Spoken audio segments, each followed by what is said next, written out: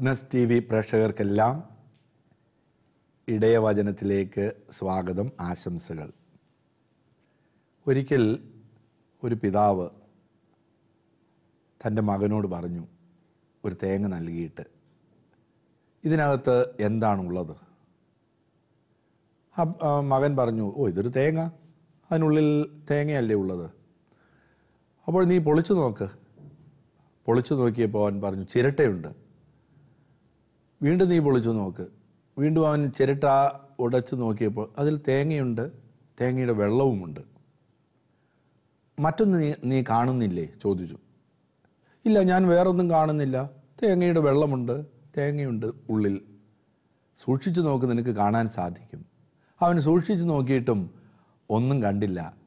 അപ്പോൾ ആ സ്നേഹമുള്ള പിതാവ് അവനോട് പറഞ്ഞു നീ വളരെ ശ്രദ്ധയോടെ നോക്കുക. അതിൽ ഒരു തെങ്ങ് നിനക്ക് കാണാൻ സാധിക്കുന്നില്ലേ? ആ പിതാവ് പറഞ്ഞു കൊടുക്കുകയാണ് ആ മകന്. ഒരു തേങ്ങയിൽ ഒരു തെങ്ങില്ലേ? തീർച്ചയായിട്ടും. ആ തേങ്ങ മണ്ണിലേക്ക് കുഴിച്ചിട്ടാൽ അത് ഒരു തെങ്ങായിട്ട് വളരും. അതിൽ നിന്ന് ധാരാളം തേങ്ങയുണ്ടാകും അതിനുള്ള സാഹചര്യങ്ങൾ ലഭിക്കണമെന്ന് മാത്രമേ ഉള്ളൂ. മണ്ണുണ്ടായിരിക്കണം അത് മണ്ണിലേക്ക് കുഴിച്ചിടണം ആവശ്യമായിട്ടുള്ള വളം കൃത്യസമയത്ത് വെള്ളം നൽകണം സാഹചര്യങ്ങൾ നൽകണം. അപ്പോഴത് മരമായിട്ട് വലുതാകും. തെങ്ങായിട്ട് വള വലുതാകും. സഭയാകുന്ന വലിയ രഹസ്യങ്ങൾ ഉൾക്കൊള്ളുവാൻ നമുക്ക് സാധിക്കണമെങ്കിൽ പിതാവായ ദൈവം നമുക്ക് അത് വെളിപ്പെടുത്തി തരണം. ആ മകന് പിതാവ് പറഞ്ഞു കൊടുക്കുകയാണ്. തേങ്ങ കാണുമ്പോൾ ഒന്നുമില്ല നഗ്നനേത്രങ്ങൾ നേത്രങ്ങൾ നോക്കുമ്പോൾ അവിടെ ഒന്നും കാണാനില്ല. എന്നാൽ യഥാർത്ഥത്തിൽ തേ ഒരു തെങ്ങ് അവിടെ ഉണ്ടല്ലോ. അത് മനസ്സിലാക്കുവാൻ പിതാവായ ദൈവം പറഞ്ഞു കൊടുത്തപ്പോൾ ആ കുഞ്ഞിന് ലഭിച്ചു. സഭയാകുന്ന വലിയ രഹസ്യം. അതിലേക്ക് നാം പിതാവായ ദൈവം നമ്മെ പഠിപ്പിക്കുമ്പോൾ നമുക്കത് മനസ്സിലാക്കുവാൻ സാധിക്കും. വിശ്വാസ ജീവിതത്തിൽ ഏറ്റവും കാതലായ പാഠമാണ് മിസ്റ്റിക്കൽ ബോഡി ഓഫ് ചേർച്ച് സഭ മിസിഹായുടെ മൗതിക ശരീരം. സഭ ഒരു രഹസ്യമാണ് മിസ്റ്ററി മിസ്തേരിയോൺ എന്ന പദം ഹിഡൻ മറഞ്ഞിരിക്കുന്നത്. മറഞ്ഞിരിക്കുന്നത് വെളിപ്പെടുത്തി തരും അപ്പോൾ നമുക്കത് മനസ്സിലാകും. ക്രിസ്തു മറഞ്ഞിരിക്കുന്ന ഒരു രഹസ്യമാണെന്ന് സഭാപിതാക്കന്മാരെല്ലാവരും പഠിപ്പിക്കുന്നുണ്ട്. ഏർ പ്രത്യേകിച്ച് വിശുദ്ധ പൗലോസപ്പസ്തോലൻ. സഭയൊരു രഹസ്യമാണ്. ക്രിസ്തുവിന്റെ ശരീരമാണ് സഭ. ആ സഭയിലെ അംഗങ്ങളായ നാം ഓരോരുത്തരും അപ്പോഴൊരു രഹസ്യമാണ് ഒരു മിസ്റ്ററിയാണ്. ഇത് വിശ്വാസത്തിന്റെ കണ്ണിലൂടെ കാണുമ്പോഴേ നമുക്ക് മനസ്സിലാകുകയുള്ളൂ. അതല്ലെങ്കിൽ നമുക്കൊരിക്കലും ഉൾക്കൊള്ളാൻ സാധിക്കുകയില്ല. സഭ സഭയിൽ എങ്ങനെയാണ് നമുക്ക് നാം ഓരോരുത്തരും അംഗങ്ങളായിരിക്കുന്നത്? ഇതൊന്നും നമുക്ക് മനസ്സിലാക്കാൻ സാധിക്കുകയില്ല. സാധാരണ കാരെ പോലെ പള്ളിയിൽ പോകും വിശുദ്ധ കുർബാനയിൽ പങ്കെടുക്കും തിരികെ പോരും. അത് നമ്മുടെ ജീവിതത്തെ സ്പർശിക്കുകയില്ല. ഒരുപക്ഷെ നമ്മുടെ പ്രിയപ്പെട്ടവരോട് സ്നേഹത്തോടുകൂടി ഇടപഴകണമെങ്കിൽ നമ്മുടെ അതീവ ഗുരുതരമായ ദുഃഖം നൽകുന്ന സന്ദർഭങ്ങളിൽ ആ കുരിശുകൾ സന്തോഷത്തോടു കൂടി സ്വീകരിക്കണമെങ്കിൽ ഈ രഹസ്യങ്ങൾ ഉൾക്കൊള്ളാൻ സാധിക്കണം അനുദിന ജീവിതത്തിൽ. അപ്പോൾ സഭയൊരു രഹസ്യമാണ്. സഭ യേശുവിന്റെ ശരീരമാണ്. ക്രിസ്തു ഒരു രഹസ്യമാണ്. മിസ്റ്ററി. ഈ വലിയ സത്യം ഈ വലിയ രഹസ്യം ഉൾക്കൊള്ളാൻ ഓരോ വിശ്വാസിക്കും വള വലിയ കടമയുണ്ട്. അതിനുവേണ്ടി കാത്തിരിക്കണം. അതിനുവേണ്ടി ശ്രദ്ധയോടുകൂടി പ്രാർത്ഥിക്കണം. അത് കർത്താവ് വെളിപ്പെടുത്തി തരുന്നതാണ് അവിടുത്തെ വലിയ സ്നേഹമാണ്. വിശുദ്ധ പൗലോസ് അപ്പസ്തോലൻ കൊളോസോസുകാർക്ക് എഴുതിയ ലേഖനം രണ്ടാം അധ്യായം രണ്ടാം തിരുവചനത്തിൽ ഇപ്രകാരം പഠിപ്പിക്കുന്നുണ്ട്. പിതാവായ ദൈവത്തിന്റെ രഹസ്യമാണ് ക്രിസ്തു. പിതാവായ ദൈവത്തിന്റെ രഹസ്യമാണ് ക്രിസ്തു. പിതാവായ ദൈവത്തിന്റെ രഹസ്യമാണ് ക്രിസ്തു എന്ന അപ്പസ്തോലൻ സ്വർഗത്തിന്റെ മൂന്നാം തട്ടിലേക്ക് പ്രവേശിച്ച അപ്പസ്തോലൻ നമ്മെ പഠിപ്പിക്കുമ്പോൾ നമുക്ക് അത്ര ആഴത്തിൽ ഉൾക്കൊള്ളേണ്ടതാണ്. തന്റെ ലേഖനങ്ങളിൽ ഓരോ ലേഖനത്തിലും അപ്പസ്തോലൻ സൂചിപ്പിക്കുന്നുണ്ട് ക്രിസ്തു ഒരു രഹസ്യമാണ്. ഞങ്ങൾ പ്രഘോഷിക്കുന്നത് ആ രഹസ്യമാണ്. നിങ്ങൾ വിശ്വസിക്കേണ്ടതും ക്രിസ്തുവാകുന്ന ആ രഹസ്യം. ഈ രഹസ്യത്തെ അല്ലാതെ മറ്റൊന്നിനെയും ഞാൻ പ്രഘോഷിക്കുന്നില്ല പ്രഘോഷിക്കുവാൻ ആഗ്രഹിക്കുന്നുമില്ല എന്ന് അപ്പസ്തോലൻ ആവർത്തിച്ച് പറയുന്നുണ്ട് പങ്കുവെക്കുന്നുണ്ട്.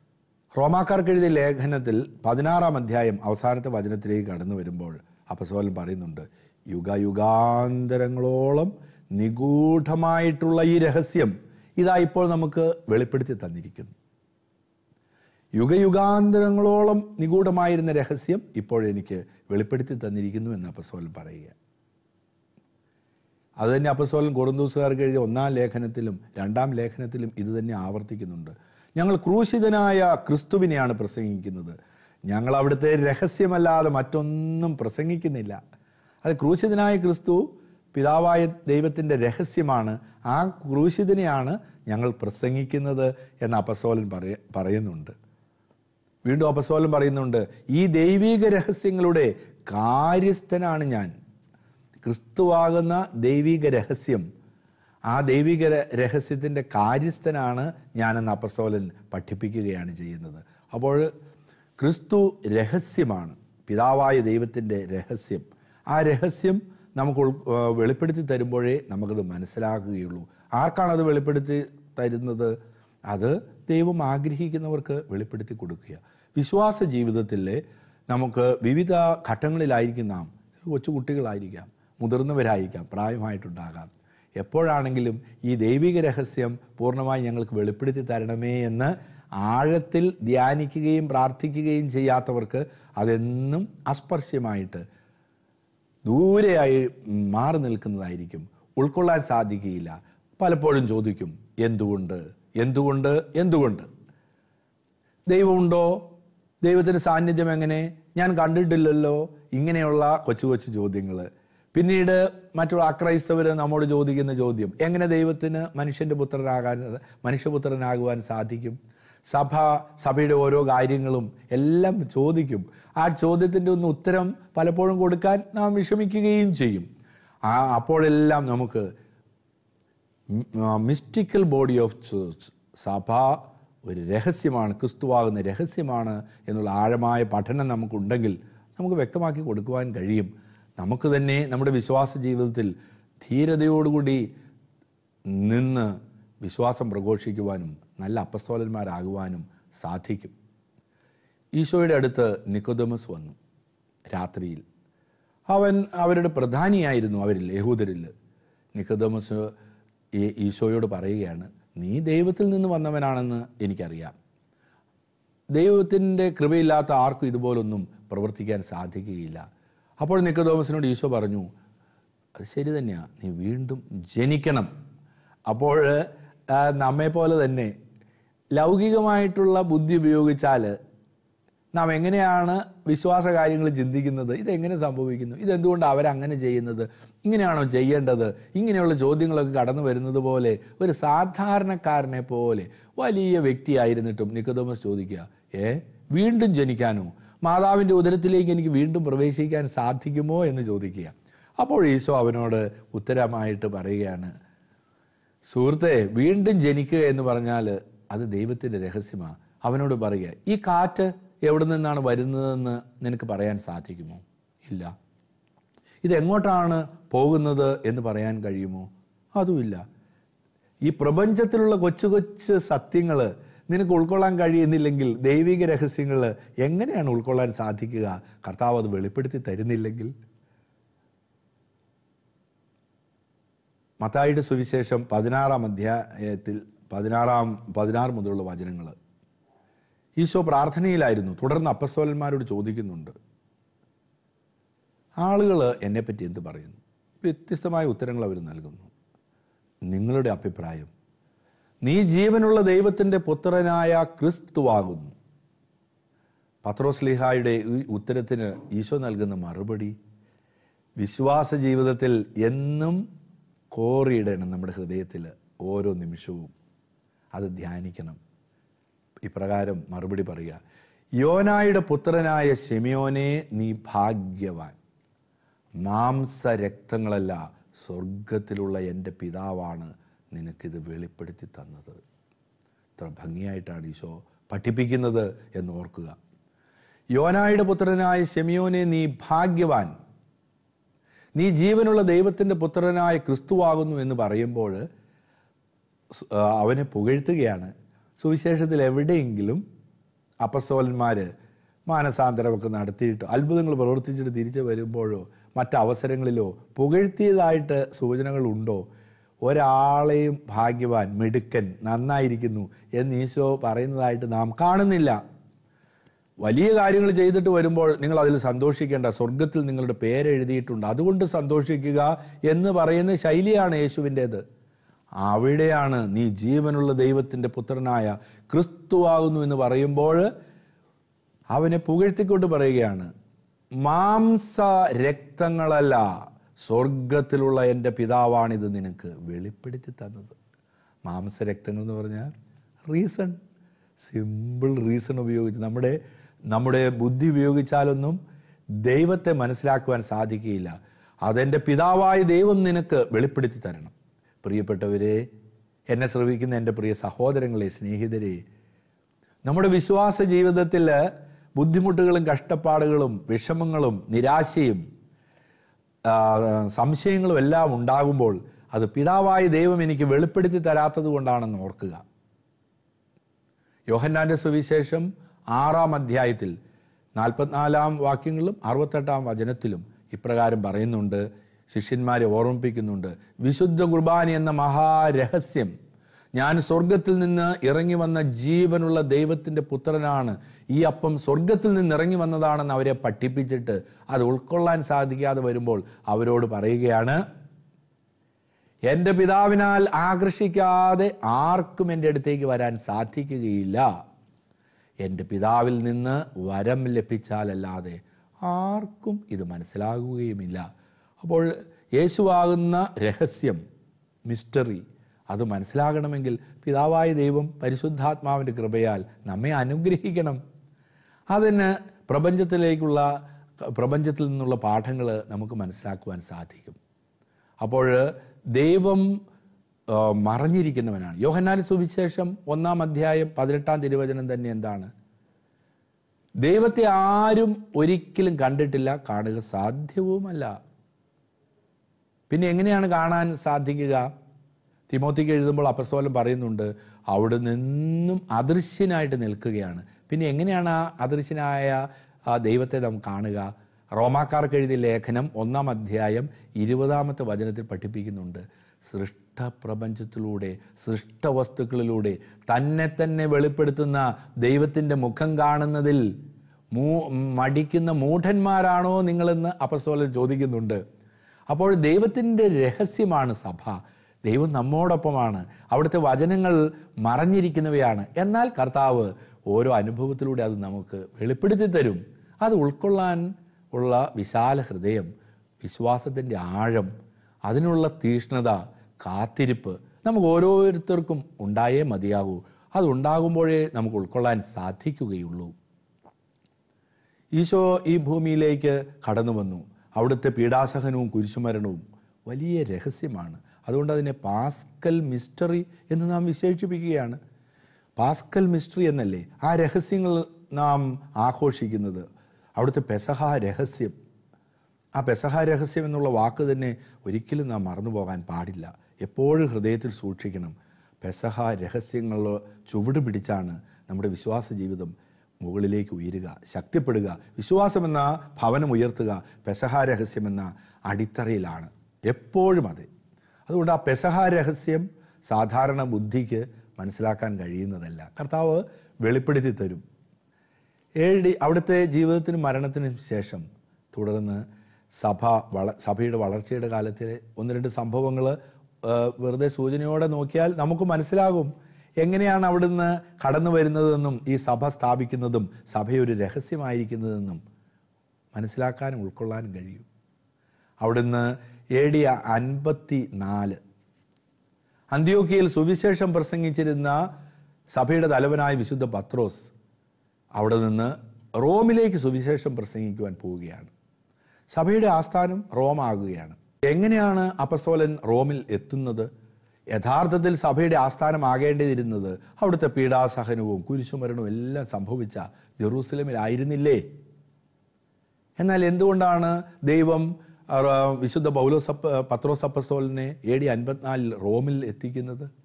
നമുക്കറിയാം എ ഡി എഴുപതായ ആയപ്പോഴേക്കും റോമും പരിസര പ്രദേശങ്ങളും എല്ലാം നശിപ്പിക്കപ്പെട്ടു. റോം എ ഡി എഴുപതായപ്പോഴേക്കും ജെറൂസലേം നശിപ്പിക്കപ്പെട്ടു. അവിടെയായിരുന്നു സഭയുടെ കേന്ദ്രം പടുത്തുയർത്തിയിരുന്നതെങ്കിൽ ഒരിക്കലും അവിടെ പ്രവേശിക്കുവാൻ സാധിക്കുമായിരുന്നില്ല. ഇന്ന് അവിടെ പ്രവേശിക്കണമെങ്കിൽ എത്രയോ കടമ്പകളാണ് കടക്കേണ്ടത്.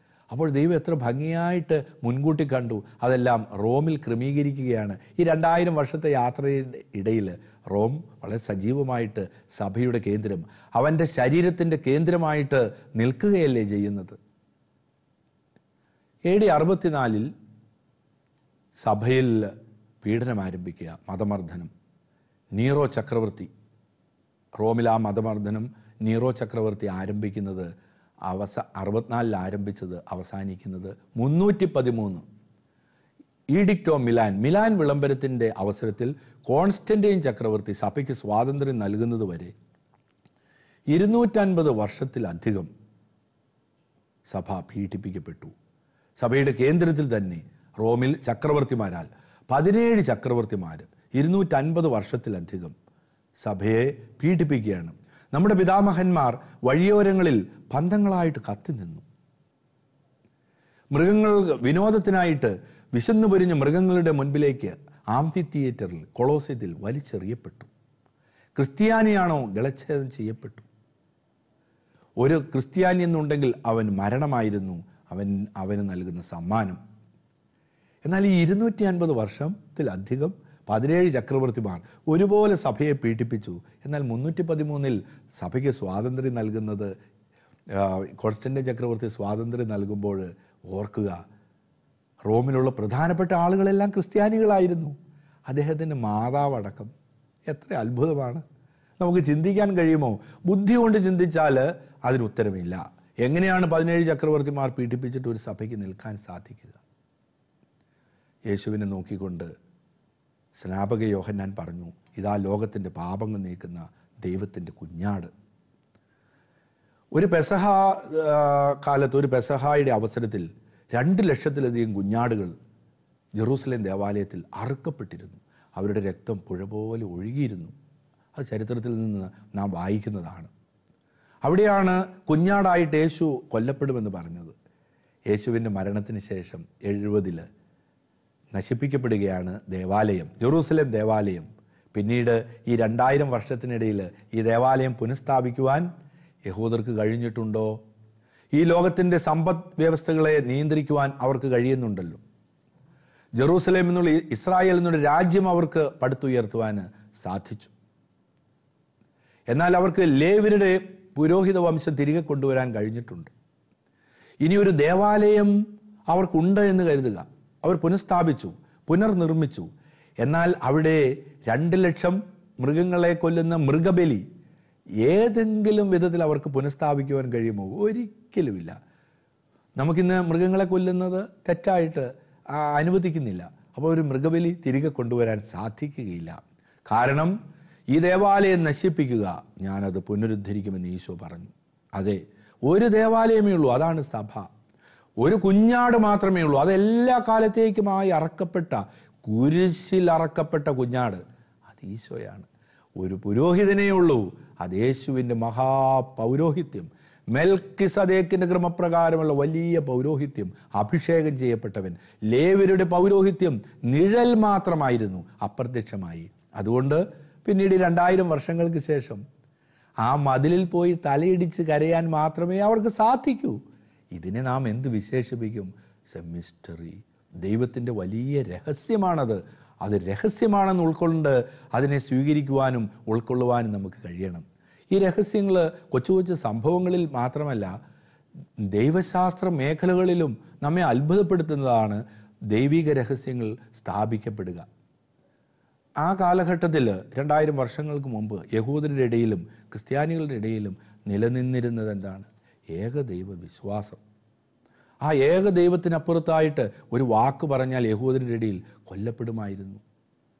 പിതാവായ ദൈവത്തെക്കുറിച്ചോ പുത്രനായ ദൈവത്തെക്കുറിച്ചോ പരിശുദ്ധാത്മാവിനെക്കുറിച്ചോ സൂചിപ്പിച്ച സ്റ്റേഫനോസ് എസ്തപ്പാനോസ് കല്ലെറിഞ്ഞു കൊല്ലപ്പെടുന്നത് അപസ്വന്മാരുടെ പ്രബോധനത്തിൽ നാം വായിക്കുന്നില്ലേ? അതിന്റെ പേരിലാണല്ലോ അവിടുന്ന് യഥാർത്ഥത്തിൽ പീഡിപ്പിക്കപ്പെടുക പീഡിപ്പിക്കപ്പെടുന്നത് സഭ. എന്നാൽ ഏകദൈവം അതിൽ മൂന്ന് വ്യക്തികൾ പിതാവ് പുത്രൻ പരിശുദ്ധാത്മാവ് വ്യക്തമായ സൂചനകളോടുകൂടി ധീരതയോടുകൂടി പഠിപ്പിക്കുകയും പ്രസംഗിക്കുകയും ചെയ്യുകയും അത് സ്ഥാപിക്കുകയും ചെയ്ത് ഈ രണ്ടായിരം വർഷങ്ങൾക്കിടയിൽ എത്ര മനോഹരമാണ്. അത് ദൈവത്തിന്റെ രഹസ്യങ്ങൾക്കല്ലേ സാധിക്കൂ. ദൈവിക രഹസ്യത്തിന് സാധിക്കൂ. ഇനി അനുദിന ജീവിതത്തിലേക്ക് കടന്നു വരികയാണെങ്കിൽ ആ കാലഘട്ടത്തിൽ നീ ഒരു ഷീട്ട് എഴുതി കൊടുത്താൽ മതി വിവാഹമോചനം നട നടത്താം.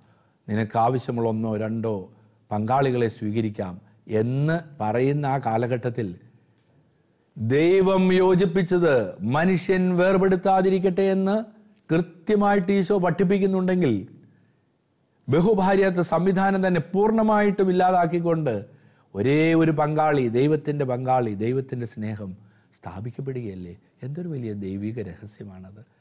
ആ കാലഘട്ടത്തിൽ ആളുകൾ മുഴുവൻ ഉൾക്കൊള്ളുകയാണ്. ഒരേ ഒരു പങ്കാളി തങ്ങളുടെ വിവാഹ ജീവിതം ദൈവത്തിന്റെ സംവിധാനമാണ് ദൈവത്തിന്റെ കൂതാശയാണ് എന്ന് ഉൾക്കൊണ്ടുകൊണ്ട് ഈ രണ്ടായിരം വർഷത്തെ യാത്രയിൽ അത് മുന്നോട്ട് പോവുകയാണ്. അപ്പോൾ ഇത് ഈ സംഭവങ്ങൾ പ്രകൃതി എന്നുള്ള സംഭവങ്ങൾ ഈ ദൈവിക രഹസ്യങ്ങളോട് ചേർക്കുകയാണ്. അപ്പസ്തോലൻ തന്നെ പറയുന്നുണ്ട് എന്റെ വിളിയെക്കുറിച്ച് നിങ്ങളൊന്ന് ചിന്തിച്ചു നോക്കുക. ഗലാത്തിയാക്കാർക്ക് എഴുതിയ ലേഖനം ഒന്നാം അധ്യായത്തിൽ തന്നെ നമുക്ക് കാണുവാൻ സാധിക്കും. മനുഷ്യരിൽ നിന്നോ മനുഷ്യർ മുഖേനയോ അല്ല. പിതാവായ ദൈവത്തിലൂടെ പിതാവായ ദൈവം ഉയർപ്പിച്ച ക്രിസ്തുവിലൂടെ അപ്പസ്തോലനായി തീർന്നവൻ ഞാൻ. ഞാൻ യേശുവിനെ ഒരിക്കലും കണ്ടിട്ടില്ല. കാണാനോട്ട് ഞാൻ യേശുവിനെക്കുറിച്ച് പഠിക്കുവാൻ ഞാൻ ഒരാളുടെ അടുത്ത് പോയിട്ടുമില്ല. പിന്നെയോ എല്ലാം എനിക്ക് വെളിപ്പെടുത്തി കിട്ടി. മറഞ്ഞിരിക്കുന്നവനായ ക്രിസ്തുവിനെക്കുറിച്ച് എല്ലാം എനിക്ക് വെളിപ്പെടുത്തി കിട്ടി. അപ്പസ്തോലൻ നമ്മെ പഠിപ്പിക്കുന്നതാണ്. പ്രിയപ്പെട്ട സഹോദരങ്ങളെ യേശു ഇന്ന് ജീവിക്കുന്നത് സഭയിലൂടെയാണ് എന്നിലൂടെയും നിങ്ങളിലൂടെയുമാണ്. നാം ഒരു രഹസ്യമാണ്. നാം ഒരു രഹസ്യമാണ് നമ്മൾ ഇന്ന് വരെ കടന്നു പോകുന്ന വഴികളിലൂടെ ചിന്തിക്കുമ്പോൾ ദൈവം എത്ര ഭംഗിയായിട്ട് വെളിപ്പെടുത്തി തരുന്നു. ഞാനാണ് ക്രിസ്തു. ഞാൻ ഞാനാണ് വെളിപ്പെടുത്തപ്പെടുന്നവനാണ് എന്നിലേക്ക് തന്നെ തിരിഞ്ഞു നോക്കി ജീവിതത്തിന്റെ സംഭവങ്ങൾ ഉൾക്കൊള്ളാൻ എനിക്ക് സാധിക്കണം. ഒരിക്കലൊരു അമ്മച്ചിയെ കണ്ടു. പ്രായമായ അമ്മ അമ്മയെ കണ്ടുമുട്ടി. അവർക്ക് നടക്കാൻ സാധിക്കുന്നില്ല. അവരെന്നോട് പറഞ്ഞു ഞാൻ ചോദിച്ചു ഇത് എന്ത് സംഭവിച്ചു? അവരെന്നോട് പറഞ്ഞു ഞാൻ നമ്മുടെ കർത്താവ് എന്നെ ചുരുട്ടിക്കൂട്ടി. പിന്നീട് എന്നെ അവിടുന്ന് നേരെയാക്കി. ഇനിയും എന്നെ ചുരുട്ടിക്കൂട്ടിക്കൊള്ളട്ടെ. നമ്മുടെ കർത്താവ് കുരിശിൽ അനുഭവിച്ച പീഡകളോട് തുലനം ചെയ്യുമ്പോൾ ഇതൊക്കെ എത്രയോ നിസ്സാരമായ വേദനകളാണ് അവർക്ക് എങ്ങനെയാണ് അത് സാധിച്ചത്? കർത്താവ് വെളിപ്പെടുത്തി കൊടുക്കുന്നത് കൊണ്ടാണ് നമുക്കൊരു ദുഃഖവും കഷ്ടപ്പാടോ കടന്നു വരുമ്പോൾ നിരാശയിലേക്ക് പോവുക പ്രതീക്ഷയില്ലാത്തവരായി പോവുക എല്ലാം നമ്മുടെ അനുദിന ജീവിതത്തിൽ ഉണ്ട്. ക്ഷമ നശിച്ചു പോകുന്നു ദേഷ്യം വരിക അസൂയ വിദ്വേഷം എല്ലാം എന്തുകൊണ്ടാണ് ഉണ്ടാകുന്നത്? ദൈവം സ്നേഹിക്കുന്നവർക്ക് പദ്ധതി അനുസരിച്ച് വിളിക്കപ്പെട്ടിരിക്കുന്നവർക്കെല്ലാം നന്മയ്ക്കായി പരിണമിപ്പിക്കുന്നുള്ള ദൈവിക രഹസ്യം ഉൾക്കൊള്ളാൻ സാധിക്കാത്തത് കൊണ്ടാണ് അപ്പോൾ അനുദിന ജീവിതത്തിൽ നമുക്ക് ആവശ്യം ഈ വലിയ ദൈവിക രഹസ്യങ്ങൾ. പെസഹ രഹസ്യങ്ങളുടെ ആഴമായ ധ്യാനമാണ്. അവിടുത്തെ അവിടുത്തെ കുരിശിന്റെ വഴിയിലൂടെയുള്ള അനുദിനമുള്ള യാത്രയാണ്. അതാണ് നമുക്ക് രക്ഷ കൊണ്ടുവരിക സമാധാനം കൊണ്ടുവരിക. അത് നമുക്ക് കർത്താവിന്റെ മുഖം വെളിപ്പെടുത്തി കേട്ടും. ഇന്ന് വരെ ഞാൻ നിന്നെപ്പറ്റി കേട്ടിട്ടേ ഉള്ളൂ. ഇതാ ഇപ്പോൾ ഞാൻ നിന്നെ കണ്ടിരിക്കുന്നു. ഇനി എന്ന് ജോബ് പറയുന്നത് പോലെ നമുക്ക് പറയാൻ സാധിക്കണം. എല്ലാം നഷ്ടപ്പെടുമ്പോഴും ദൈവത്തിന്റെ മുഖം കാണുന്ന ജോബ് അതാണ് ദൈവിക രഹസ്യങ്ങളുടെ പ്രത്യേകത. അത് കാണുവാൻ അനുഭവിക്കുവാൻ പങ്കുവെക്കുവാൻ പ്രസംഗിക്കുവാൻ മറ്റുള്ളവർക്ക് വെളിച്ചമാകുവാൻ നമ്മെ ക്ഷണിക്കുക. So I am a mystery ഞാനൊരു രഹസ്യമാണ്. കർത്താവ് എനിക്കത് വെളിപ്പെടുത്തി തരും. എന്റെ വിശ്വാസ ജീവിതത്തിൽ ആഴത്തിൽ ചിന്തിക്കുകയും ധ്യാനിക്കുകയും ചെയ്യാം. നമുക്ക് പ്രാർത്ഥിക്കാം. കാരുണ്യവാനായ ഈശോയെ അങ്ങ് പിതാവായ ദൈവത്തിന്റെ രഹസ്യമാണല്ലോ. പൂർണമായും അവിടുത്തെ സഭ അങ്ങ് സ്ഥാപിച്ചു. അവിടുത്തെ ശരീരമാണ്. ആ ശരീരത്തിലെ അംഗമെന്ന നിലയിൽ ഞാനും വലിയൊരു രഹസ്യമാണ്. അനുദിന ജീവിതത്തിലെ ഓരോ സംഭവവും അങ്ങയുടെ ക്രിസ്തു സംഭവത്തോട് ചേർക്കുവാനും പെസഹ രഹസ്യങ്ങളോട് ചേർക്കുവാനും ആ പെസഹ രഹസ്യങ്ങൾ ആഘോഷിക്കുവാനുള്ള കൃപ ഞങ്ങൾക്ക് നൽകണമേ. അനുദിന ജീവിതത്തിലെ സന്തോഷങ്ങളും ബുദ്ധിമുട്ടുകളും എല്ലാം ആ പെസഹ രഹസ്യത്തിന്റെ ആഴത്തിൽ ഉൾക്കൊള്ളുവാനുള്ള കൃപ എനിക്ക് നൽകണമേ. അവിടുത്തെ സ്നേഹം എന്നിലേക്ക് വർഷിക്കണമേ. കർത്താവെ അങ്ങ് അപ്പസ്തോലന് വെളിപ്പെടുത്തി കൊടുത്തതുപോലെ പിതാവായ ദൈവമേ എനിക്കും ക്രിസ്തുവിനെ വെളിപ്പെടുത്തി തരണമേ. പരിശുദ്ധ അമ്മേ എനിക്ക് മധ്യസ്ഥയായിരിക്കണമേ. ദൈവത്തിന്റെ നാമത്തിന് മഹത്വം ഉണ്ടാകട്ടെ.